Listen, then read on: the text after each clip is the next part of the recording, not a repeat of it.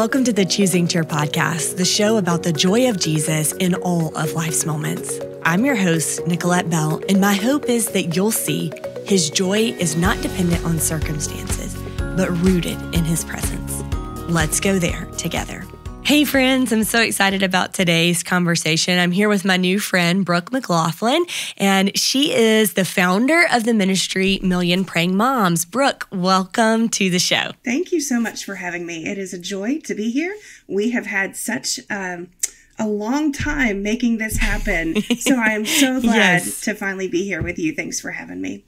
Yes, I feel the same way. I feel the same way. I have um, followed your ministry on Instagram for a while now and have been so encouraged by the work that you do. So I'm excited for our listeners to get to meet you and get to know you.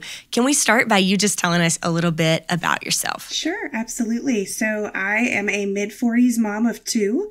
I have two boys. One, uh, well, they're just on the verge of their birthdays, and you know how that's important to kids. Like I'm, I'm really not 16. Like I'm, I'm kind of 17, so um, it's a big difference. So I have a 17 year old and an almost 19 year old, uh, one that's in his first year of college and one that's a sophomore in high school.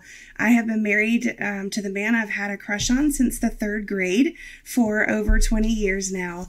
And uh, we live in southwestern Virginia, kind of down in the mountains of Virginia, and we love this area of Appalachia. It's a rich, like the, the history, the cultural history of this area is so rich musically, um, storytelling, all the things. There's just so much goodness here. And I always like to slide that in because I think sometimes people have a poor opinion of people from Appalachia when there is really so, so much wonderful stuff here. So um, we're happy to, you know, just be able to serve and, and love our family. We have a couple dogs and a, and a, rescue cat named Nermal. So um, that is our story. Yeah, I've been doing ministry uh, online ministry for a long time. Um, I started out in ministry working in nonprofit um, at an, in a nonprofit crisis pregnancy center.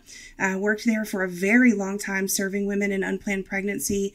And um, then the Lord called me home for a season, and I had the privilege of serving Him here through online ministry, writing, speaking, and things like that. And it's just been one of the greatest joys of my life to get to do that. Yeah, tell us about Million Praying Moms for those that aren't familiar. Yeah, Million Praying Moms exists to help moms uh, learn that prayer is not a last resort.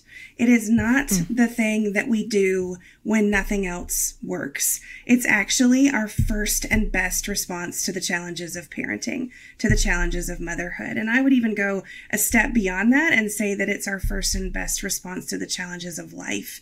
Um, having that relationship with Christ, with God, is one of the best things. It is one of the, the places of the greatest joy in my own personal life, in my own motherhood. And, um, and so I just, it spills out of me to help other moms see that God is inviting them into a partnership for the hearts of their kids. Um, when I was, we'll get into this I'm sure more, but when my kids were very young, I felt very desperate for the Lord to do something in my home. And prayer was the way that God gave me to um, be able to intersect with Him and find joy in that parenting. And so mm-hmm. uh, it's just a it's just a huge part of my heart for moms. Awesome. How did the ministry get started? So, we actually, I, I, used to have a ministry partner. We served together for a long time, and she's still one of my dear friends. Um, but we started out kind of in a different ministry. We started out, we, we have five boys between us. And so we started out with this ministry called the Mob Society. Nothing nefarious about it nothing like bad. Like it was mothers of boys. So I always have to explain that to people. we weren't the mob, but you know, we were mothers of boys. And so we did that together, just, just helping, bringing together, um, other, other moms of boys who could speak into the hearts of moms because what we had found is that there was a shortage of material out there for moms who wanted to great, uh, raise godly men. There were lots of there's lots of stuff out there for moms of you know of girls, but they're just at that time. And it's much better now, but at that time there was this shortage for those of us who were trying our best to partner with God in raising these godly men. So we did that for a long time. And that's actually the ministry that gave me the ability to write my first book, which is called Praying for Boys. And prayer was mm. always the heartbeat of that community. It was always the foundational concept that we built every other part of our ministry on. And so in 2019, we, uh, well, actually, probably in 2018, we felt like the Lord was saying, let's move into full time prayer ministry. This is kind of what you're doing, anyways. Um, we're just going to open it up to the moms of girls as well, and we're going to do something a little bigger than what than what we've been doing. And so um, that's how Million Praying Moms was born. It was a desire for us to um, be able to share with the moms that we were already serving and those that we hadn't had the ability to reach yet. Uh, the joy and the power of prayer, of being a praying mom, not just being the kind of mom that's like, Lord, keep them safe. Lord, um, you know, bless them today. There's nothing wrong with that, but we wanted to specifically help moms learn to pray God's word for their children because there was mm. such power for us in that in our own lives. I'm doing the ministry solo now. My business partner took a, a different turn. God led her in a different direction, but that is still the heart of, of what we do at Million Praying Moms. That's awesome. And you're reaching so many and making such a big impact. And I invited you on the show, Brooke, because this season we're talking about choosing cheer in our everyday, ordinary life. So, not in the highest of highs and not in the lowest of lows, but in our everyday moments, in our emptying the dishwasher, doing laundry, as uh, shuttling kids to uh, soccer practice or whatever it might be, um, how are we finding and experiencing the joy of Jesus in those moments? And I feel like your ministry so addresses all of those things. Um, so I want to ask you how can praying for our kids or families help us to experience the joy of Jesus in our everyday lives? Yeah, that's such a great question. I think what I have found over the years, uh, as I have tried to understand prayer deeper and deeper and deeper as we've, you know, been on this journey, is that people generally come to prayer for one of two reasons. There, there may be others, but these are the ones I see over and over again. One is a sense of obedience because God tells us to pray, right? Like it's modeled for us in the scripture. Um, it's a, it's almost assumed that that we will be in a praying, prayerful relationship with the Lord, just as a part of being a Christian. If you if you read the scriptures, there's less of, of a descriptive way, although we have the Lord's Prayer. That's really the, one of the only examples we have of do it this way. It's really just assumed that as the the believer grows and matures in the faith they'll be praying so we do it as a as an act of obedience that's one way that people come to prayer that is not the way i came to prayer I came to prayer, and I wish it was. I wish I could go back and say, "Oh, so holy!" I, I came to prayer because God said to. But actually, the reason that I came to prayer was the number two reason, and that is out of desperation. I mm. desperately needed the Lord to do something in my home. Um, my children were born very close together. They are what I like to call those boys. They are 250% boy. They are aggressive and impulsive and they are loud and they are full of energy and they bounce off the walls. Now they're older now, so it's it's a little more controlled, but in in the beginning, they would just bounce off the walls until it was bedtime. And then the only redeeming thing that I had about their early childhood is that they had so much energy energy that they had wasted throughout the day that they would pass out at night. They were they were done. Like they just would pass out cold and they wouldn't wake up until in the morning. So that was like my one thing. Thank you, Lord, because I know a lot of moms struggle with sleep for for their kids. That was not one of our struggles, but we had plenty of others. So I was I was completely worn out by them. Just in every way that you could think of. They kicked my feet out from under me in all of the right ways. They showed me, perhaps for the first time, how much I desperately needed Jesus on a day to day basis. Now, I'd made a decision to follow Christ a long time before that. They didn't show me my need for salvation. I already had that. But they showed me this almost moment by moment need that I had to be in relationship with the Lord. And they showed me that I did not have the power to force them to be the kind of boys that I wanted them to be. I just, I didn't have that ability. I was going to have to rely on God to help me with that, to help me shepherd their hearts, or I was going to go crazy. I was just going to go crazy. And there were so many times in, in my early motherhood where I just, I went to sleep in tears thinking I didn't do this the way I wanted to do this. I wasn't the kind of mom I wanted to be today. This is not what I thought it was going to look like, Lord. And it was, it was devastating to a very goal oriented girl who had always been able to achieve. Um, you know, if you look at my strengths finders, achievement is like toward the top. I, I, I'm a hard worker and I've always been able to get what I want by working hard enough. But there was this this realization that I could not work myself into um, having their hearts of of stone turned to hearts of flesh. That was God's job. And parenting is a heart issue. Parenting is reaching for the heart. We can try and force them into a mold, but I just happened to have two little boys that were very difficult to force to do anything. And so um, God really used that to show me and I was desperate for him. And when I began, praise the Lord, because I had been walking with, with him for a while, when I finally got to that very desperate season of my life, I knew where to go. So I went to his word. And I said, Lord, I need you. I need you. My earliest prayers were, uh, help me, Jesus, at the top of my lungs. You know, I would just, my neighbors probably thought I was crazy because I would just scream it like, help me, Jesus, you know, right now. I need you right here, right now, Lord. And the cool thing is that he showed up. He showed up for me over and over again as I went to his word looking for, for him, looking for what to pray for my kids.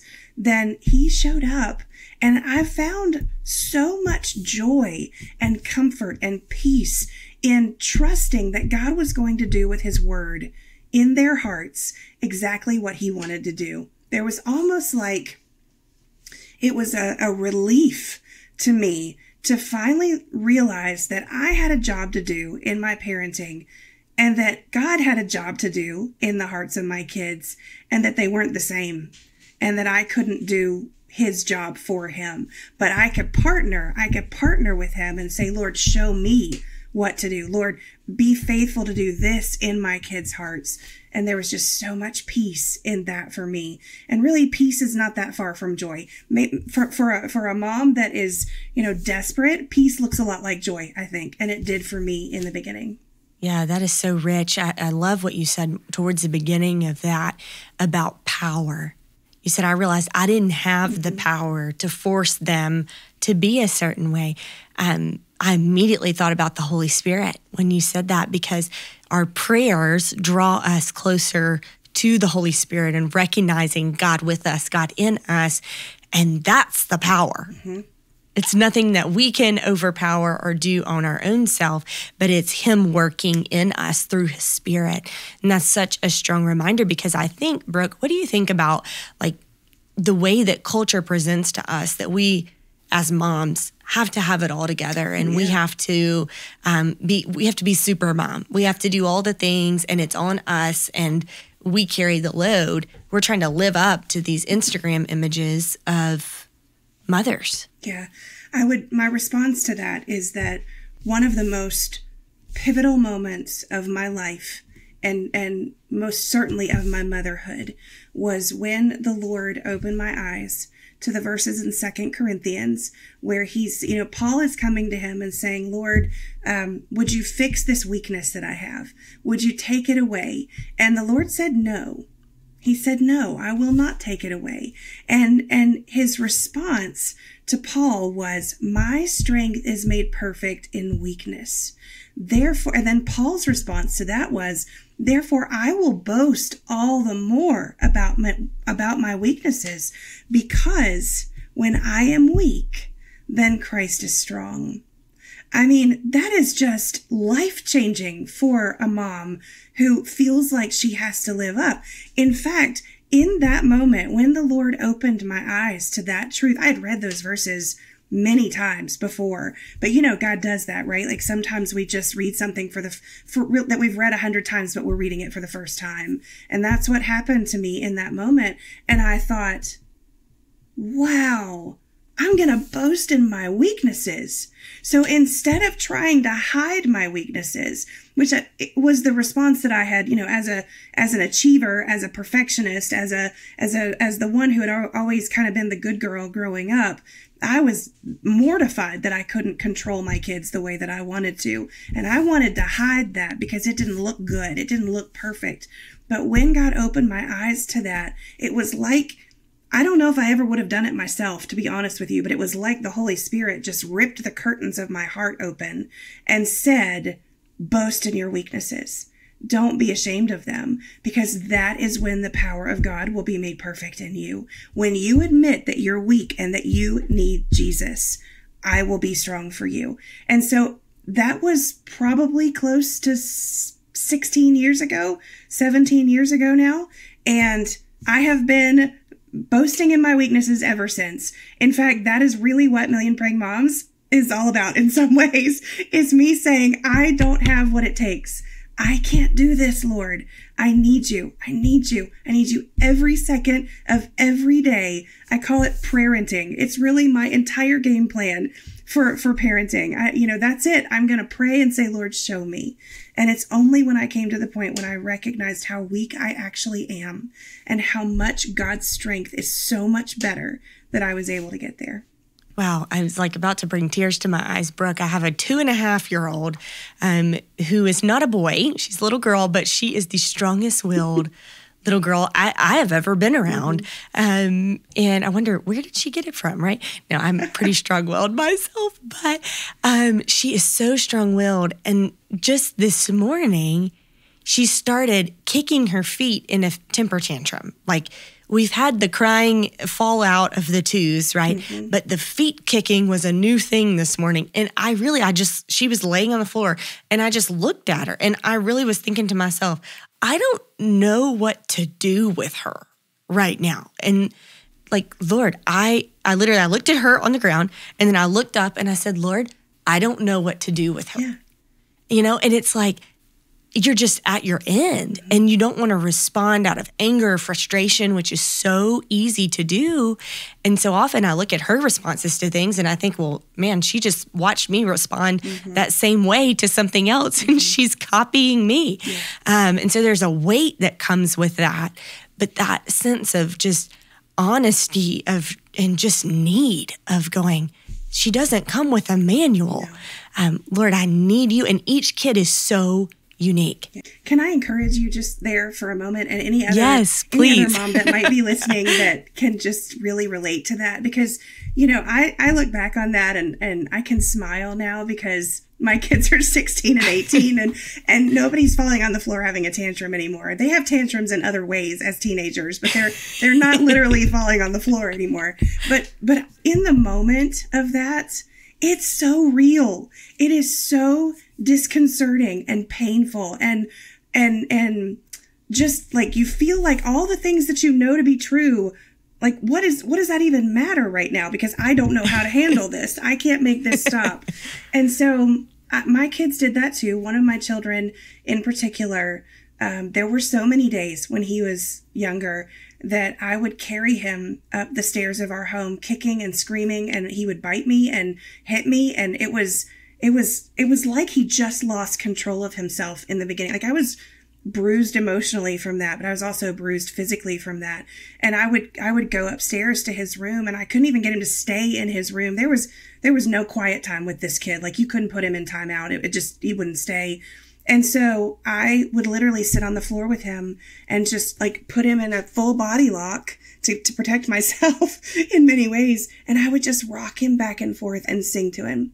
I would just sing and sing and rock and rub his hair until he could calm down enough that he could actually hear what I was saying past all of the, the noise of his tantrum. And I did that so many times for him. And several years ago, when he was, I don't know, maybe around 12 or 13 years old, um, we had a conversation. We had had a, he and I had had a disagreement that day. And we had kind of what I call a come to Jesus moment where we had to sit down and be like, look, this is not okay. This has to stop. You know, you're being disrespectful. And he looked at me and he said, Mom, I feel like there's something more going on here. Like, I feel like you're mad at me for more than just what happened. And I looked at him. I was sitting on the floor and he was sitting in our recliner so that I could be more eye to eye with him. and I looked at him and I said, sweetie, I just feel like this has been going on forever. Like I'm, I'm just tired. I'm tired of having these same conversations over and over and over again. And I reminded him of the way that, of what I just described to you, of the way that it had been when he was a younger boy. And as I described to him the way that was, the how hard that was for me, his mouth just fell open. And finally he looked at me and he said, I never did that to you. I would never treat you that way. And I realized in that moment that he doesn't remember. Like yeah. that, that part of our parenting journey that was so hard for me, that just ripped my soul out and really that, that was what caused me to go to God in prayer in the first place he doesn't remember any of it. So I'm telling you that as an encouragement that just to keep pressing on, keep praying, keep doing all the things that you know to do. You may have to do it over and over and over and over and over again. There's not going to be this magic thing that you do that's going to make everything better or make it change, but it's going to get better over time. So I just wanted to pause and encourage in that for a second because I've mm-hmm. definitely been there. Thank you. Thank you. Thank you. And I know that uh, listeners are saying thank you as well as they're relating and understanding that. And I love what you said um, that your boys don't throw t- tantrums anymore, but maybe in a little bit of a different way. Right. And I think that's an important part of motherhood and, and praying for your children as well. Um, I served as a youth pastor for a long time. And so that teenage language um, sometimes is not that far away from that three year old uh, language. Mm-hmm. But you know, how our prayers change in the season that our kids are in and the season of life that we are in. And that's a, a really unique part, I feel like, yeah. of our journey as mothers. So, the person who's listening to this and is thinking, this all sounds really great, and you've given some examples, but what are some practical steps mm-hmm. that people can take to begin to practice praying for their families. Yeah, so many of the moms that I deal with or that I have the pleasure of dealing with will come to me and say, Brooke, I know I ought to be praying. Like I, you know, we talked about this earlier. I can see it in scripture. I know I ought to be praying. Um, I want to pray. I want to be a vibrant prayer warrior. I believe that prayer is is a very important part of my motherhood for the, the hearts of my kids. I just don't know where to start. I don't know what to do. It feels awkward and and I sometimes don't even feel like anybody's listening or or or maybe they come to me and say, Well, I've prayed and prayed and prayed and prayed and nothing has happened and I, I don't know if I really believe that God's listening. We there's lots of challenges that we bring to the table with prayer. And I want the first thing that I want to say is that you're not alone in that. Lots of people struggle with prayer. Sometimes I still struggle with prayer. And, and I think that is the norm it really is more the norm than it is the the other way around. And so I want to encourage your listeners to know that if they're struggling, they're definitely not alone. Um, I actually wrote a resource, a couple of resources that I think would be great. One is free, so I'll point us in the direction there first. It's actually a little downloadable ebook that's called How to Pray God's Word for Your Children, and it's super short. It's just a little how-to guide that, like, if you if you grab it, you'll be praying God's Word for your children by this afternoon. It's just that it's it's very very quick and easy, and it explains how I approach this from A to Z. But in a nutshell, what I do, uh, what I what I have done in the past and what I do today is look to God's word to show me what I need to pray for my kids. So in different seasons of their lives, our kids have different character traits that are sinful or or that we wish were different and they change throughout the years. Sometimes there are character traits that stay the same and they just kind of morph and change over the years but but sometimes they're different. And so i find that this is helpful to do periodically not just once. So i'll make a list of the things that we're struggling with in our in, that my kids are struggling with. And it generally starts out negative like i might say well they're angry or they're being disobedient or um, you know, whatever, fill in the blank with whatever your child is dealing with right now, or they're impatient, um, that kind of stuff. And then what I like to try and do is flip that so that it's actually the biblical positive of that.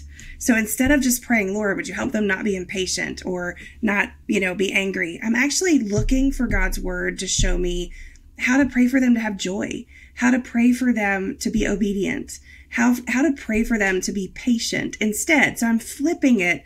And then I'm going to God's word. Just, I usually just use the concordance in the back of my Bible and I look for verses that have to do with those specific things.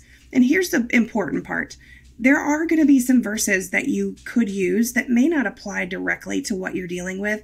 I always just want to give people a warning to try very hard not to take God's word out of context because Isaiah 55:11 tells us that God's word will not return void, that it will do exactly what he purposes for it to do. But if we take it out of context, I don't feel like that verse applies. So we have to make sure that we're being true to what God's word is actually saying in that particular instance.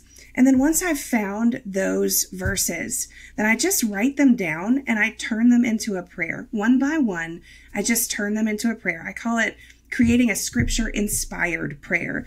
It isn't always word for word. Sometimes there are verses that really lend that like are already written as a prayer and and those are easy to just use the way they are but other times i need to change it a little bit to make it a, a prayer and so i'll do that and then I'll just weave them together into one big long prayer. And when they were smaller, I used to print these out and frame them and hang them outside of their doors.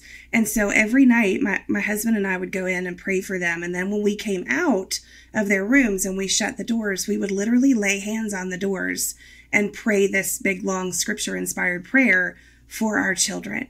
And that's how I started praying God's word. Super practical, super not rock, rocket science. It is, it is not hard to do. It just requires a few minutes of your time to make this list and go to God's word and find what you need. And that whole process, along with some sample prayers, um, are in that free resource called How to Pray God's Word for Your Children. So that would be a great place that to start. That is awesome. That is awesome. I am going to go download that this afternoon uh, to get started on that. That is that is just great.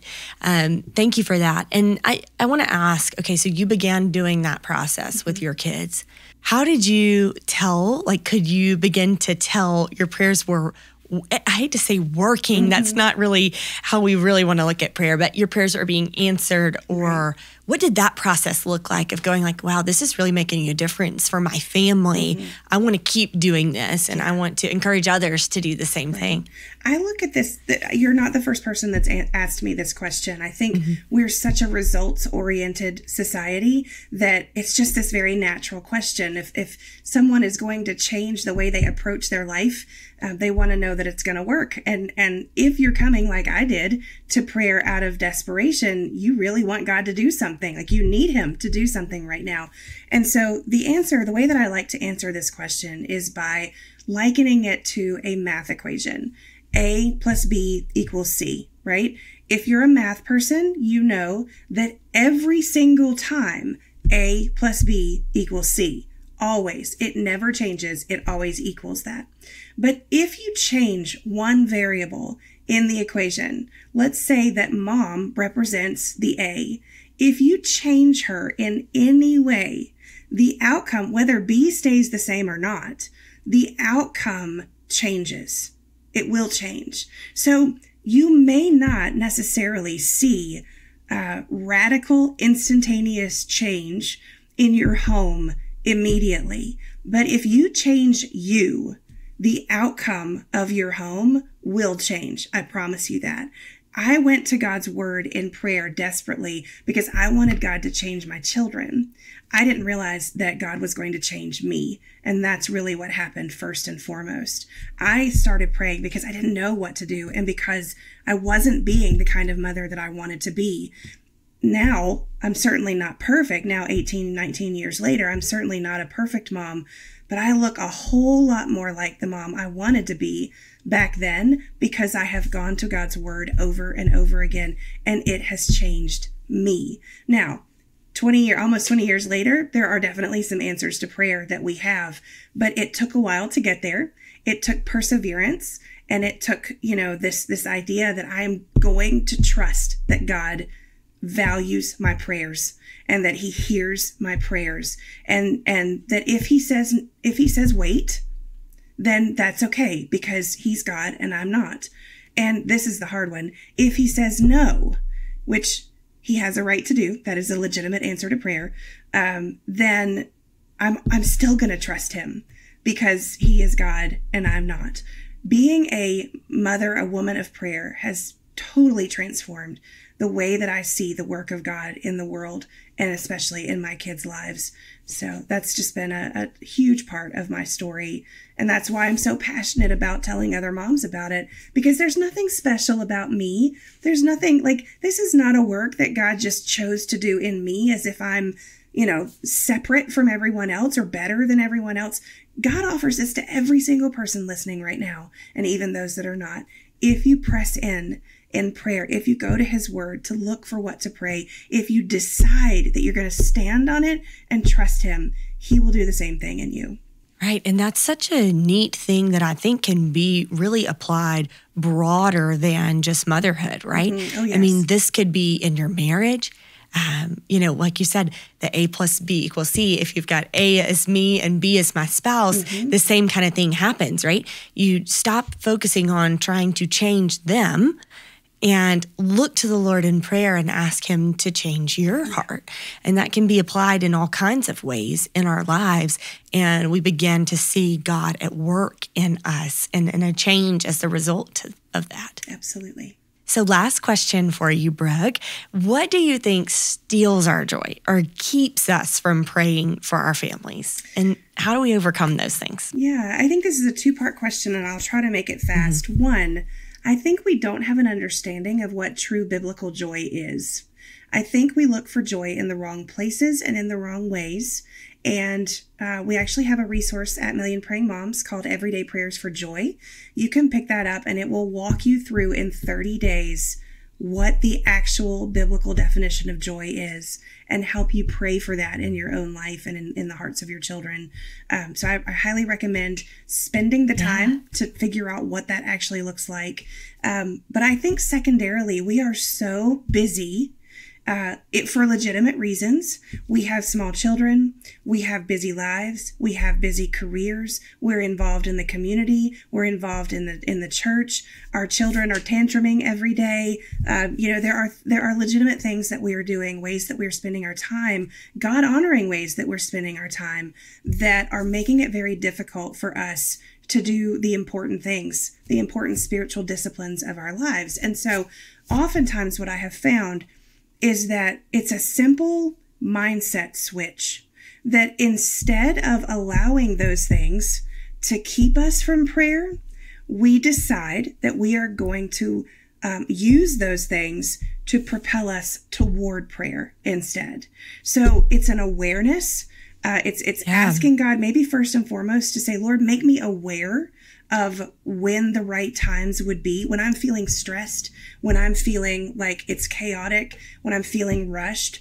Um, instead of just feeling that and moving on, would you help me, Lord? Would you train me to actually come to you in that moment and say, Lord, I'm feeling rushed. I'm feeling stressed. I'm feeling overwhelmed. Would you, you know, would you minister to me? Would you remind me of truth in this situation? So it's looking at it differently. It's the mindset sh- shift but then also asking the Lord to show us his truth in that moment instead of just speeding on by and, and missing an opportunity. Right. I had somebody um, ask me the other day as a younger woman who's in my life, doesn't have kids yet, is not married yet. And she asked me a question um, basically to the effect of because my daughter Josie was having a um, rough time or a rough day, that it basically made me like made an assumption that it would make me not happy, mm-hmm. right? And so I had a minute of just going, you know what? Um, I really, really try to not let the way that she is feeling, of course, it affects you mm-hmm. as a mother, right? Mm-hmm. But I can't let my emotional state be dictated by a two and a half year old. Right. Um, because I am supposed to be leading her as her mother. And so it was like a light bulb went off and my friend uh, that I was talking to, because she, it was like she'd never thought about it that way, you know? And I just thought, you know, that's so true of us. This is what we talk about week after week on the podcast. Our theme verse is John 16 33, where Jesus tells his disciples, in this world, you will have trouble but be of good cheer. I have overcome the world. And it's this idea that our joy isn't rooted in our circumstance, but it's rooted in Him, in Jesus, and the strength and the power that we get from Him as being His followers. And so I think that um, it's easy to think about circumstances as these big external things that are happening in our lives and not as much about our day to day interactions with our kids or our spouse. And so to think about those things as, okay, if my joy is truly rooted in Jesus, it doesn't get disturbed by these little bumps in the road. And so to have that as, um, kind of a, a guide that we know where our joy comes from allows us to be more joyful in our homes and to create more joy in our homes. So that's such a great reminder for, especially uh, with our theme on the podcast, just right in line with that, Brooke. I just thank you for that. Yeah, absolutely. And if we recognize too that um, joy is is not uh, it's not necessarily a feeling, and I know that sounds odd, but it's not. Scripture defines joy as a fruit. It is the fruit of, a, of the Spirit. In other words, we are all believers have at least a, a, a seed of joy in us simply because we belong to Jesus. And so even if you're struggling to find joy right now, if you're struggling to be loving towards your kids, um, if you're struggling to find peace in any of the fruit of the Spirit, um, you have it there. It's actually already there. And with all, as with all fruits, with all plants, a little bit of love and attention can help grow those things into something bigger. So it's helpful to me to remember that when I don't feel joy, it doesn't actually mean that I'm living in a joyless place. It just means my eyes are on the wrong things and I'm not choosing to give love and attention to what God has already planted in my heart. That is so beautiful. That is so beautiful, Brooke. Well, thank you so much for joining us today. I have learned so much and have been encouraged in such a real way. And I know our listeners will feel the same. Thank you for your work. You guys make sure that you follow her. It's at Million Praying Moms, right? Yes. On Instagram. Yeah, yes. you can find her there and her website. Uh, we'll link everything in the show notes. We want you to follow her and be encouraged by the work that she is doing. And just thank you, Brooke, for being with us today. Thank you so much for having me friends, it's my honor and privilege to get to spend time with you week after week. It is such a joy that you would choose to be a part of our conversation here on the podcast. You are such an important part of what we do. If you like what you hear, I would invite you to share it, pass it along, text this episode to a friend, like, rate, and subscribe to our show. What you do makes a difference. And remember, friend, we're cheering you on.